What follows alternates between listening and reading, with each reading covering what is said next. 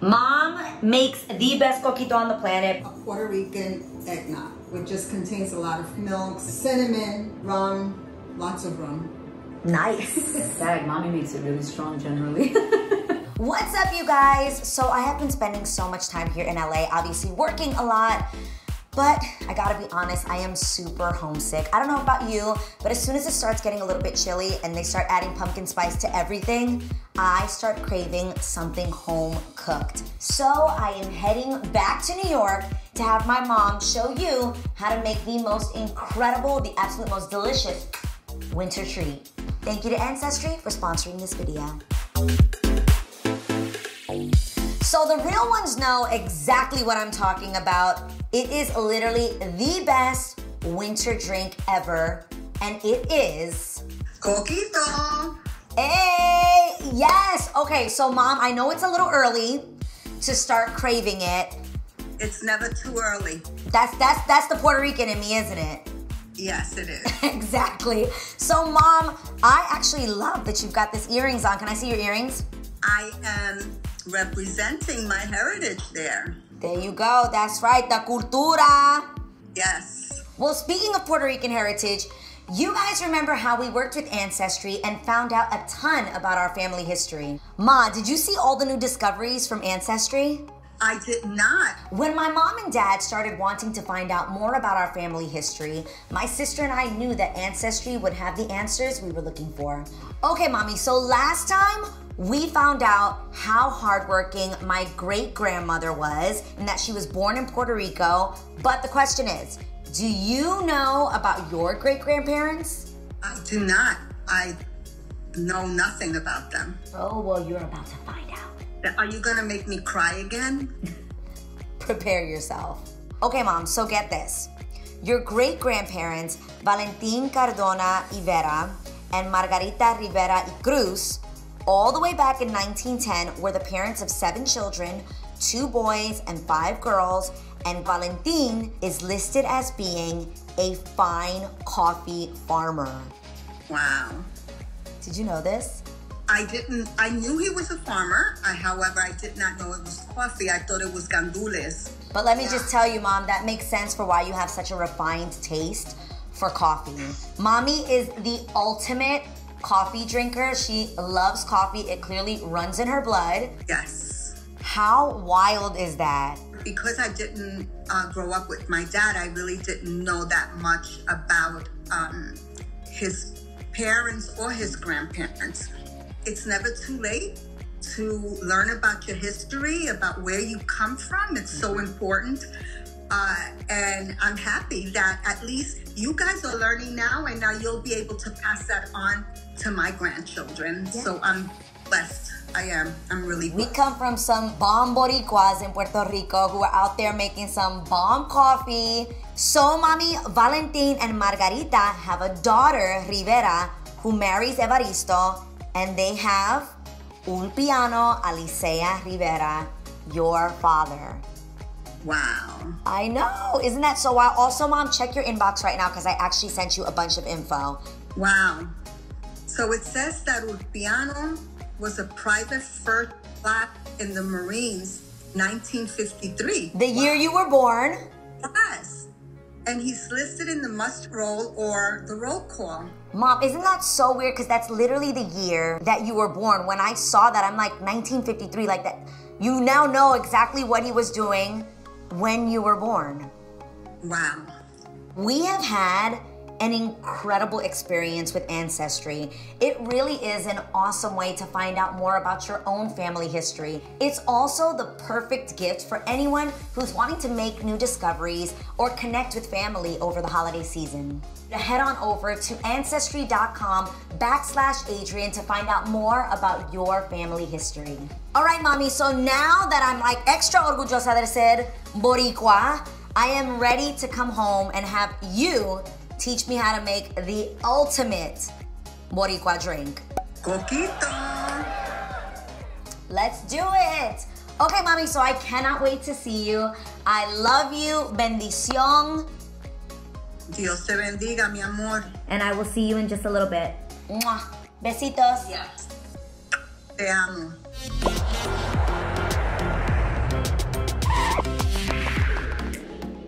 Okay, so while my mom looks amazing and festive for the holidays coming up, this is as good as I can do today.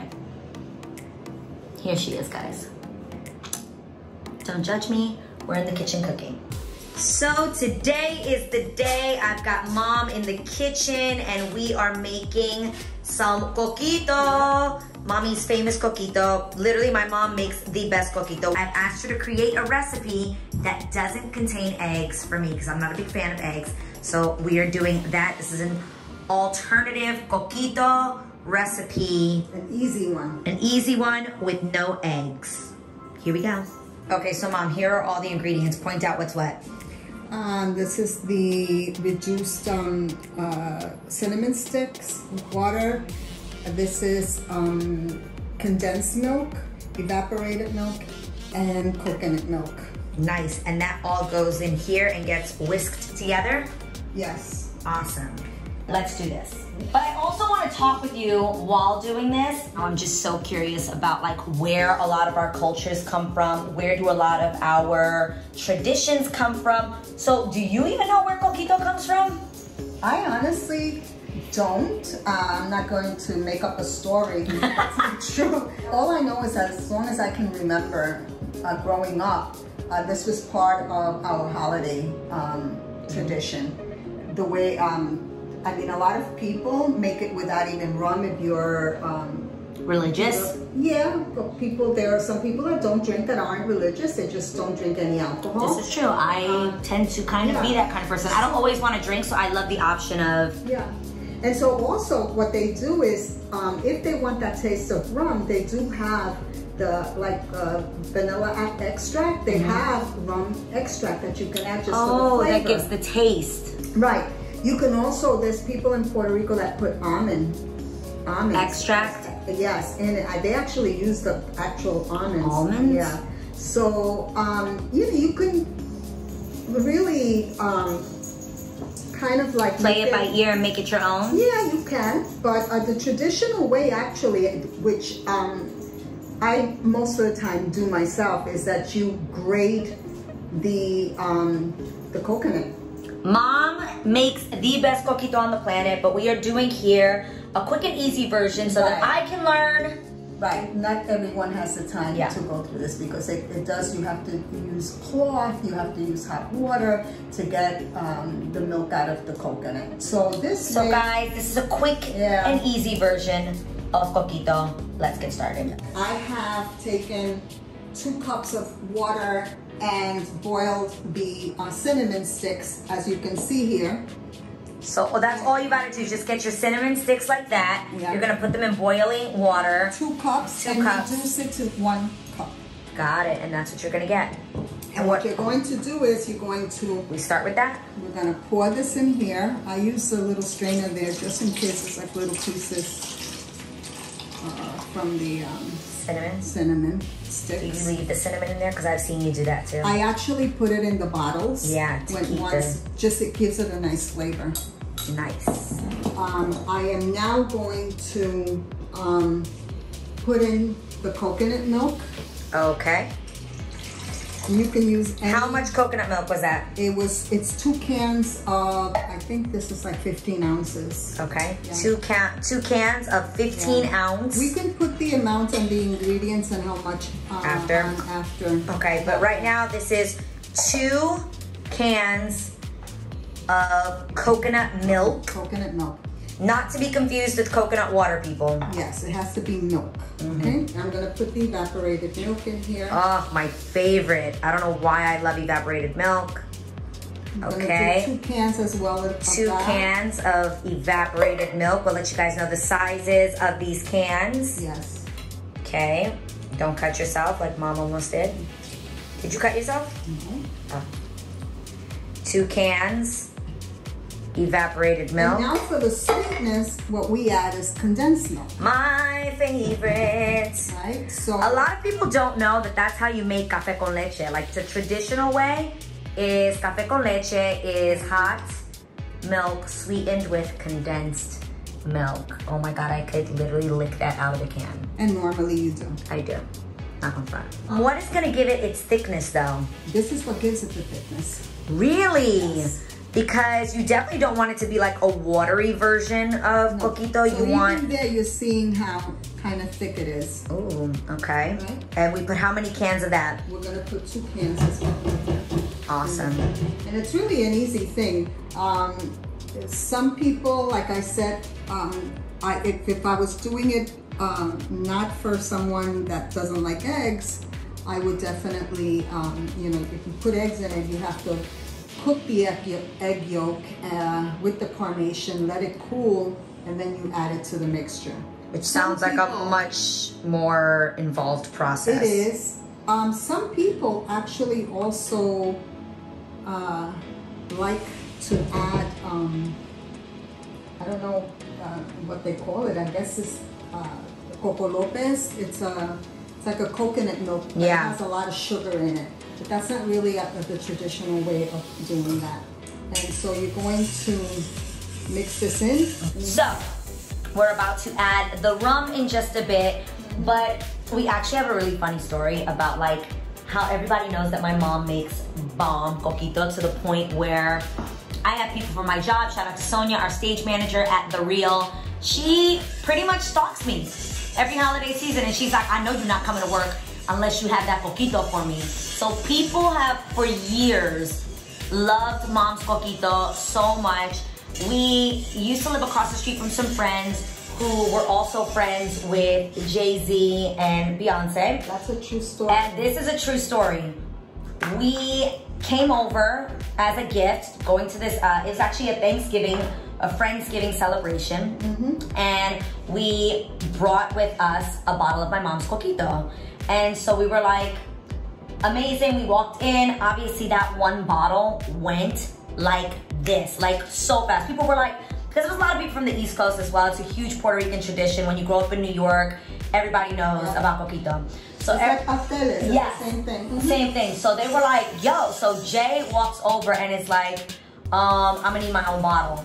Thank God this party was just happening across the street from me. So I literally come back to my house and I'm like, Mom, Jay-Z is asking you to make him some coquito like right now. Like you need to make some, some like literally batch it up together. I, I was actually I was making some for the following day, so luckily, like you said, I had already started on it, and when you walked in and wanted, She made it happen. And fun fact, they mixed the coquito with D'Ussé, Yeah. which everyone went crazy for. If you don't know, that is Jay-Z's cognac.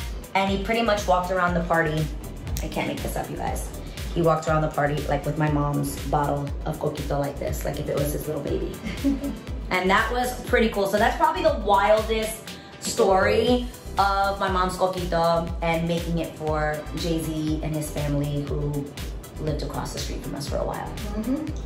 So, like I was telling you, Adrienne, some people like it even sweeter, Mm-hmm. and they would add this um, cream of coconut that you can also Yeah. add.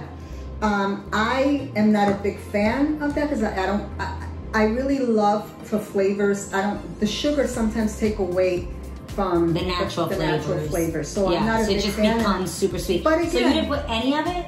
I did not. I did not. I like mine sweet. Do I want some of mine?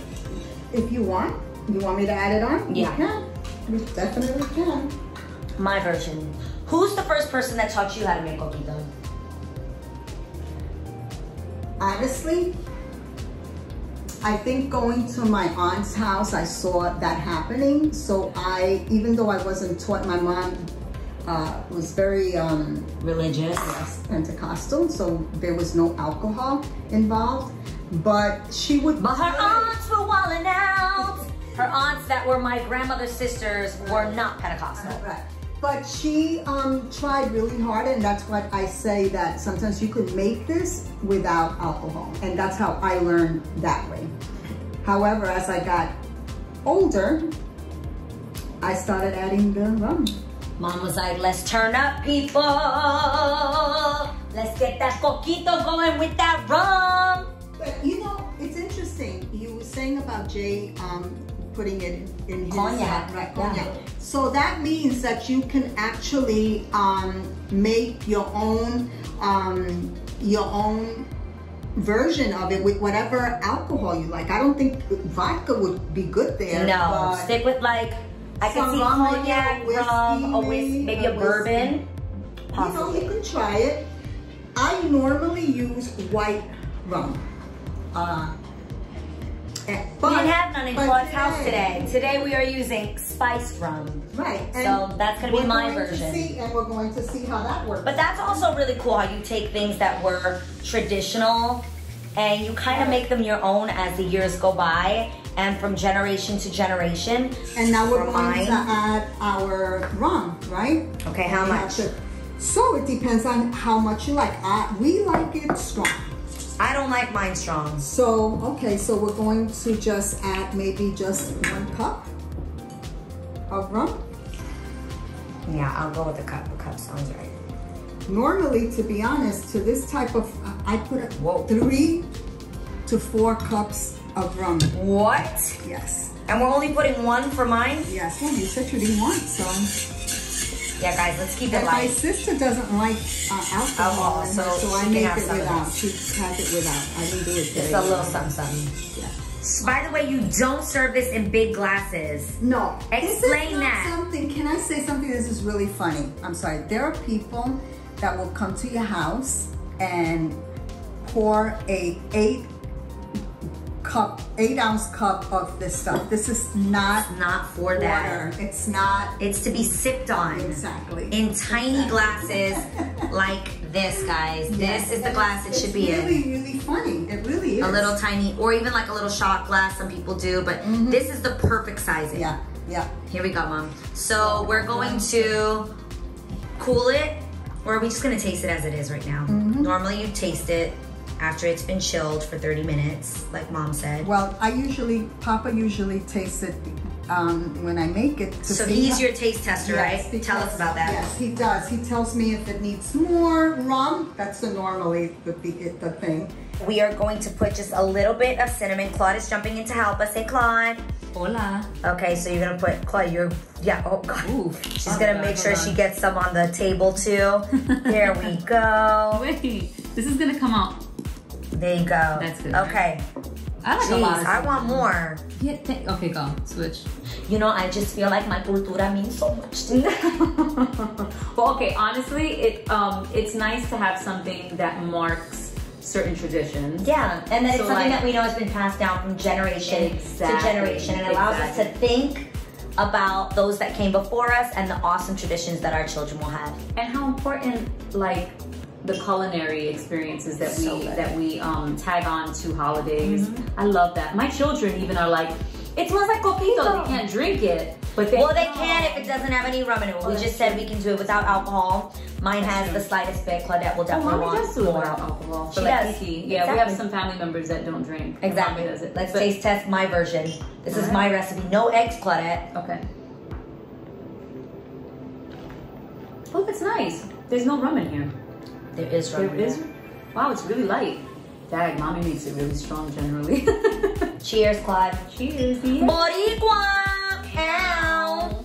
Oh my god. Thank you again to Ancestry for sponsoring this video. Don't forget to subscribe.